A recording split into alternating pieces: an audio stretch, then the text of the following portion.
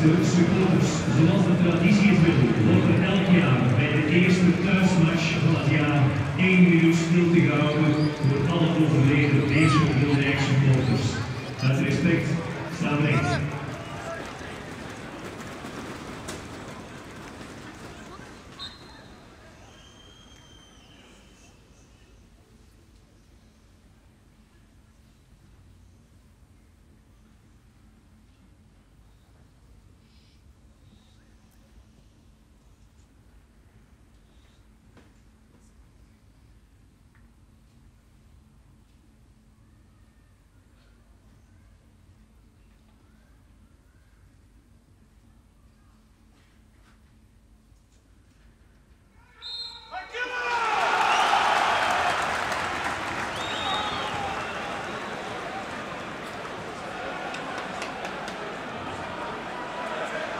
De rest heeft al het pensioen kunnen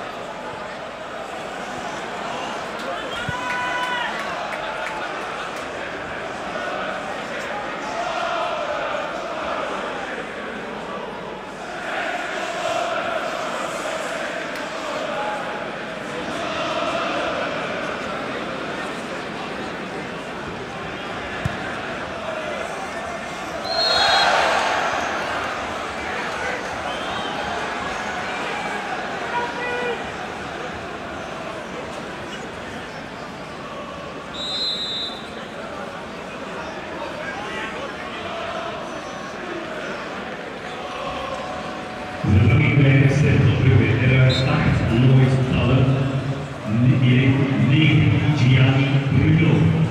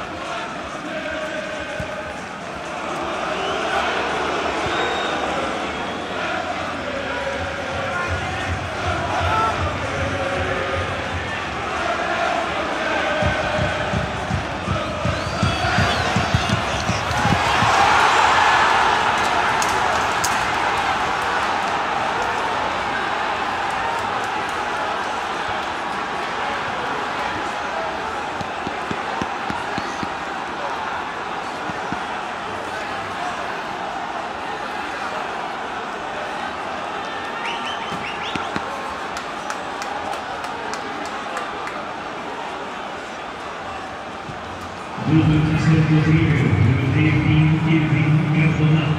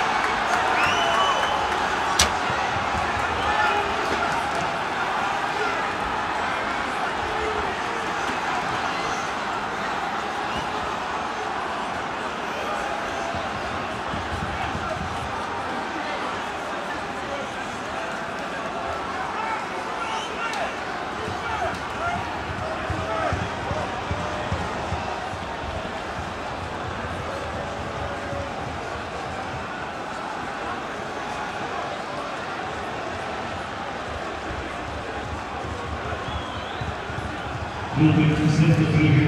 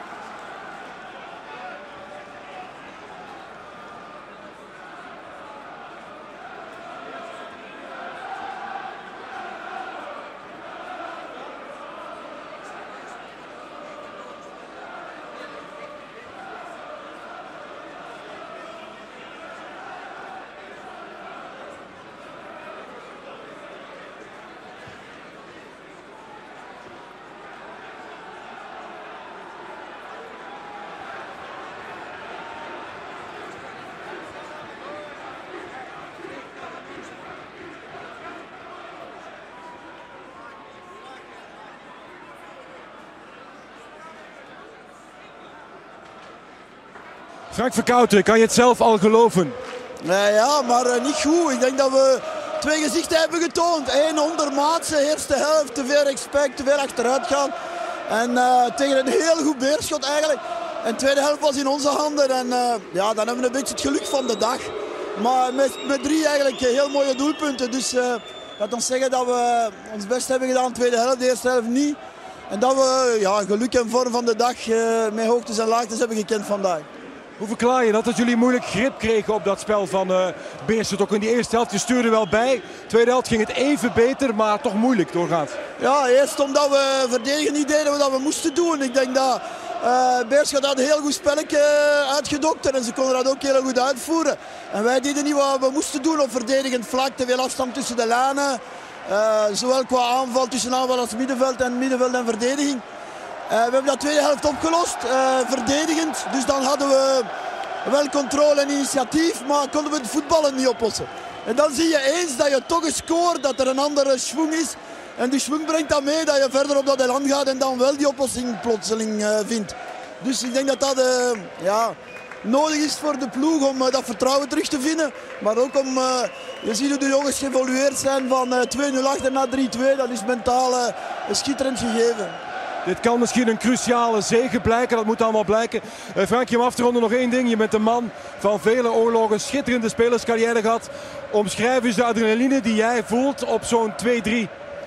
Ja, ik denk dat ik uh, niet denk aan die 2-3 dan. Ik denk aan wat moeten we doen om die 2-3 te houden uh, totdat het gedaan is. Dus je leeft je wel even uit, dus een of andere geste.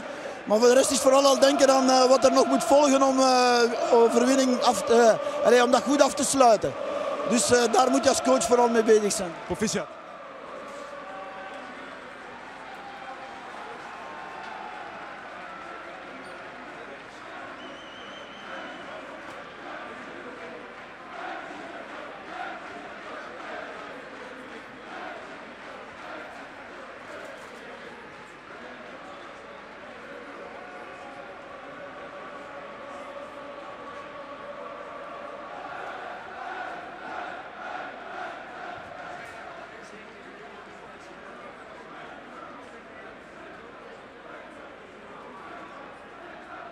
Benjamin Lambeau, euh, t'es un homme religieux? Non, pas du tout. Quel miracle Ouais, c'est, je sais pas si c'est un miracle, c'est surtout une force de caractère. On sait que premier mi-temps, voilà, on n'était pas là. On a fait des erreurs euh, un peu grossières. Mais euh, deuxième mi-temps, ce qui est bien, c'est qu'on l'a cru jusqu'au bout. Et puis euh, je pense que celle-ci, elle a été au mental. Et je pense qu'elle va nous mettre encore plus de confiance parce que quand on voit le groupe qu'on a, on n'a jamais relâché. Ceux qui sont montés, ils ont, ils ont montré le rythme à suivre. Et je trouve ça superbe. Honnêtement, c'est c'était très dur pour le cercle pour, pour trouver la marque, pour, pour, jouer contre cette euh, bonne équipe de, de Berscott. C'est quoi l'explication à votre, à votre avis? Ouais, bah, ils, ont, ils ont compris aussi, euh, ils analysent aussi le jeu. Euh, c'est vrai que ça fait quelques semaines on, on pratique du beau football. Mais c'est une équipe avec des joueurs d'expérience. Tactiquement, ils sont très très forts, ils l'ont déjà prouvé avant. Donc c'est à nous à travailler aussi pour, pour pouvoir déjouer les équipes qui nous attendent. Et quel sentiment juste après ton but? Ouais, Fantastique, parce que je l'attends depuis trois ans au cercle, je n'avais pas encore marqué ici. Et euh, de cette façon-là, et à ce moment du match, pour donner la victoire euh, ici au Berscott, je suis vraiment trop content. Et maintenant, plus de voix Ah, ça c'est sûr. On a créé tout le match, donc euh, on va encore créer après, je pense. Allez, merci beaucoup. Merci.